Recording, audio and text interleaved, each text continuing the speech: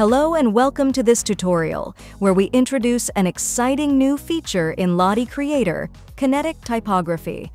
This powerful tool allows you to seamlessly integrate text into your animations, enhancing your projects with dynamic, animated text elements. Let's dive right into how you can use this feature to bring text to life within Lottie Creator.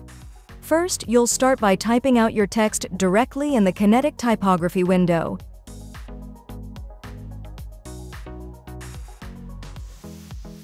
Once you have your text, you can easily choose from a variety of fonts available.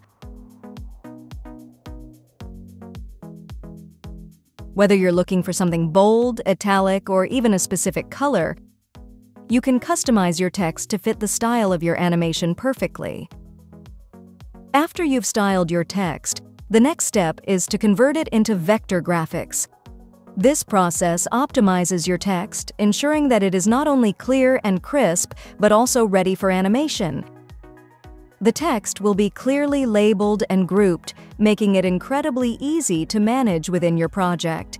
To animate your text, simply select the text group you want to animate and apply your desired animation effects using the intuitive timeline and keyframe tools available in Lottie Creator. You can adjust the timing, duration, and style of your animations to match the rhythm and tone of your project. And that's all there is to it. With Kinetic Typography in Lottie Creator, you have the power to create stunning, professionally animated text that can elevate your animations to the next level.